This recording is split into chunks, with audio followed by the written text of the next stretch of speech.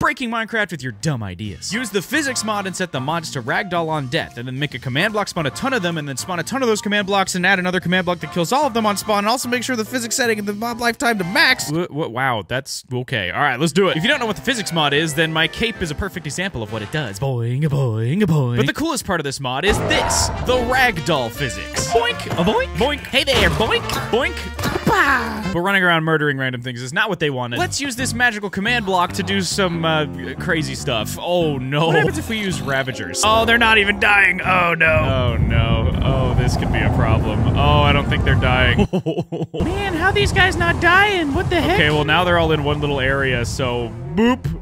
Uh, oh wow. We really broke something. What? That is um horrifying. Oh my gosh, the creature. This is just a blob. It just moves on its own. Where is it going? I hate it.